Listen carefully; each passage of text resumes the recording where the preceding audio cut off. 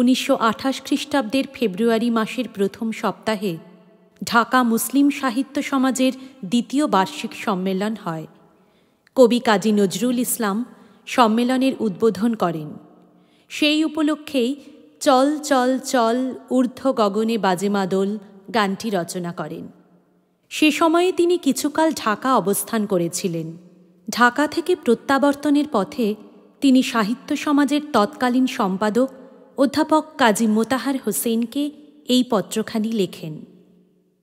প্রিয় মোতাহার, আমার কেবলই মনে পড়ছে বোধহয় ব্রাউনিংয়ের একটি line. So very mad so very bad so very sad it was yet it was sweet আর মনে হচ্ছে ছোট্ট দুটি কথা, সুন্দর ও বেদনা। এই দুটি কথাতেই আমি সমস্ত বিশ্বকে উপলব্ধি করতে পারি। সুন্দর ও বেদনা এই দুটি পাতার মাঝখানে একটি ফুল, বিকশিত বিশ্ব। একটি মক্ষী রানী, তাকে ঘিরেই বিশ্বের মধুচক্র। বাগানের মালি রাত দিন লাঠি নিয়ে বাগান আগলে আছে। বেচারা মানুষ তাকে ডিঙিয়ে যেতে পারে না। মৌমাছি তার মাথার ওপর দিয়ে গজল গান গেয়ে বাগানে ঢোকে। সুন্দরের মধুতে ডুবে যায়। অস্ফুট কুঁড়ির কানে বিকাশের বেদনা জাগায় প্রস্ফুটিত যে তাকে ঝরে পড়ার গান শোনায়। তার এতটুকু বাঁধে না, দেহেও না, মনেও না। বেচারা মালি, যেন অঙ্ক শাস্ত্রী মশাই, হাঁ করে তাকিয়ে দেখে আর মৌমক্ষীর চরিত্রের এবং আরও কত কীর সমালোচনা জুড়ে দেয়। মৌমক্ষী কিছু শোনে না, সে কেবলই গান করে। সুন্দরে স্তব সে গান, তাকে মারো। সে সুন্দরে স্তব করতে করতেই মরবে। কোনো দ্বিধা নেই, ভয় নেই, তাকে আবার বাঁচিয়ে ছেড়ে দাও। সে আবার সুন্দরে স্তব করবে, আবার বাগানে ঢুকে ফুলের পরাগে অন্ধ হয়ে ভগ্নপক্ষ হয়ে মরবে। সুষমা লক্ষ্মীর বাগান আগলে বসে আছে। নীতিবিদ বুড়ো সামাজিক হিতকামীর দল। স্টার্ন রিজার্ভ, রিজিড টিউটিফুল কত বড় বড় বিশেষণ তাদের সামনে ও পেছনে। তারা সর্বদা এই পোজ নিয়ে বসে আছে যে তারা যদি না থাকতো, তাহলে একদিনে এই জগৎটা বিশৃঙ্খল হয়ে পড়ত, একটা ভীষণ ওলট পালট হয়ে যেত। বেচারা, দেখলে দয়া হয়। এদের মাঝেই, হয়তো কুটির মাঝে একটি আসে সুন্দরের ধেয়ানি, কবি। সে রিজার্ভ নয়, ডিউটিফুল নয়, কেবলই ভুল করে। সে কেবলই fall on the thorns of life he weeps সে সমস্ত শাসন বিধিনিষেধের ঊর্ধ্বে উঠে সুন্দরে স্তব গান করে স্কাইলার্কের মতো। সে কেবলই বলে, সুন্দর, বিউটিফুল। মিল্টনের স্বর্গের পাখির মতো তার পানি, সে ধুলার পৃথিবী স্পর্শও করে না। কবি এবং মৌমক্ষী বিশ্বের মধু আহরণ করে মধুচক্র রচনা করে গেল এরাই। কোকিল, পাপিয়া, বউ কথা ক নাইটিঙ্গেল, বুলবুল, ডিউটিফুল বলে এদের কেউ বদনাম দিতে পারেনি। কোকিল শিশুকে তারা রেখে যায় কাকের বাসায়। পাপিয়া তার শিশুর ভার দেয় ছাতার পাখিকে। বউ কথা ক শৈশব কাটায় তিতির পাখির পক্ষ পক্ষপুটে। তবু আনন্দের গান গেয়ে গেল এরাই। এরা ছন্ন ছাড়া কেবলই ঘুরে বেড়ায়, শ্রী নাই, সামঞ্জস্য নাই, ব্যালেন্স জ্ঞান নাই। কোথায় যায়, কোথায় থাকে ভ্যাগাবন্ড এক নম্বর। ইয়ার ছোকরার দল। তবু এরাই তো স্বর্গের ইঙ্গিত এনে দিল। সুন্দরের বৈতালিক, বেদনার ঋত্বিক, এই এরাই। শুধু এরাই, কবি আর বুলবুল। কবি আর বুলবুল পাপ করে তারা পাপের অস্তিত্বই মানে না বলে। ভুল করে, ভুলের কাঁটায় ফুল ফোটাতে পারে বলে। আমার কেবলই সেই হতভাগিনীর কথা মনে পড়ছে, যার ঊর্ধ্বে দাঁড়িয়ে ডিউটিফুল আর পায়ের তলায় প্রস্ফুটিত শতদলের মতো বিউটিফুল পায়ের তলার পদ্ম তার মৃণাল কাঁটায় ভরা। দুদিনে তার দল ঝরে যায় পাপড়ি শুকিয়ে পড়ে, তবু সে সুন্দর। দেবতা গ্রেট হতে পারে, কিন্তু সুন্দর নয়। তার আর সব আছে, চোখে জল নেই। তুমি মনে করতে পারো মোতাহার, আমারই চিরজনমের কবি প্রিয়া আমারই বুকে শুয়ে কাঁদছে তার স্বর্গের দেবতার জন্য।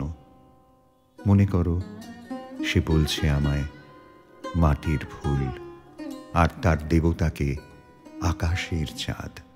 আচ্ছা এমনি করে তোমায় কেউ বললে তুমি কি করতে বলো তো? আমার কথা স্বতন্ত্র। আমি একসঙ্গে কবি এবং নজরুল। ওই কথা শুনে কবি খুশি হয়ে উঠল। বললে, এই বেদনার মাঝখানে দাঁড়িয়ে আছো তুমি। তোমায় এর ঊর্ধ্বে, তোমার দেবতারও ঊর্ধ্বে নিয়ে যাব আমি। আমি তোমায় সৃষ্টি করব।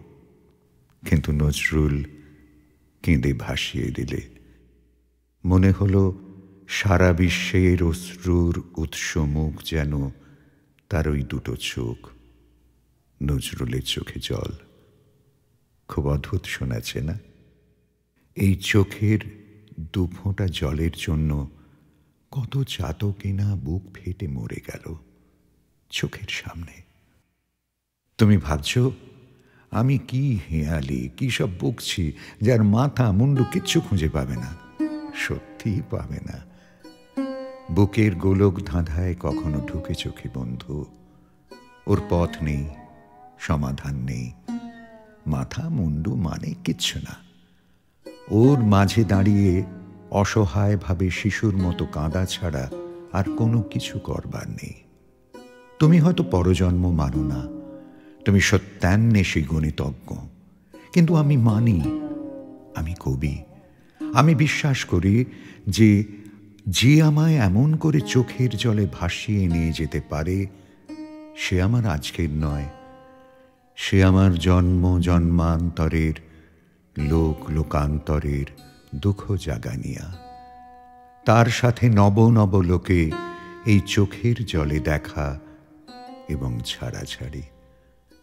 তুমি হয়তো মনে করছ, বেচারা শেলি, বেচারা কিটস, বেচারা নজরুল খেঁদেই মূল্য রবীন্দ্রনাথ আমায় প্রায় বলতেন, দেখ উন্মাদ, তোর জীবনে শেলির মতো, কিটসের মতো খুব বড় একটা ট্র্যাজেডি আছে। তুই প্রস্তুত হ। জীবনে সেই ট্র্যাজেডি দেখবার জন্য আমি কতদিন অকারণে অন্যের জীবনকে অশ্রুর বরসায় আচ্ছন্ন করে দিয়েছি।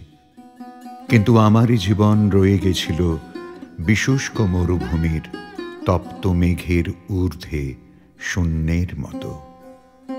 কেবল হাসি, কেবল গান, কেবল বিদ্রোহ, যে বিপুল সমুদ্রের ওপরে এত তরঙ্গোচ্ছ্বাস, এত ফেনপুঞ্জ, তার নিস্তরঙ্গ নিথর অন্ধকার তলার কথা কেউ ভাবে না।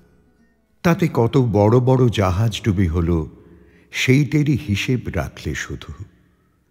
আর সে যে কত যুগ ধরে আপনার অতল তলায় বসে কেবলই শুক্তির পর শুক্তির বুকে মুক্তা মালা রচনা করে গেল এবং আজ পর্যন্ত ব্যর্থ হয়ে রইল, তার সেই মুক্তামালা এ খবর কেউ রাখলে না। ফরহাদ, মজনু চন্দ্রপীড, শাহজাহান, এরা যেন এক একটা দৈত্য শিশু। কিন্তু স্বর্গকে আজও ম্লান করে রেখেছে এরাই। ফরহাদ পাগলটা সিঁড়ির কথায় একটা গোটা পাহাড়কেই কেটে ফেললে। পাহাড়ের সব পাথর সিঁড়ি হয়ে উঠল। প্রেমিকের ছোঁয়ায় পাহাড় হয়ে উঠল ফুলের স্তবক। পাষাণে স্তবগান উঠল ঊর্ধ্বে। কোথায় স্বর্গ? কোন তলায় রইল পড়ে? লাইলি, সাধারণ মেয়ে। মজনু তাকে এমন করে সৃষ্টি করে গেল, যেমন করে দেবতা তো দূরের কথা, ভগবানও সৃষ্টি করতে পারে না। শাহজাহান, আরেক ফারহাদ। মমতাজকে শিরির মতো অমর করে গেল তাজমহলের মহাকাব্য রচনা করে। তাজমহল, যেন নির্বাক ভাস্করের পাষাণ স্তব, মর্মরের মহাকাব্য।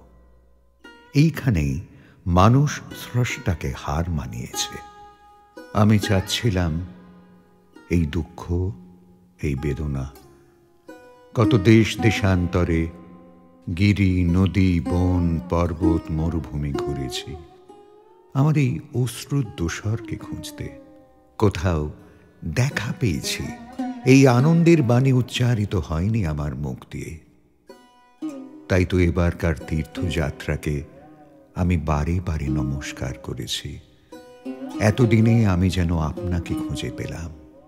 এবারে আমি পেয়েছি।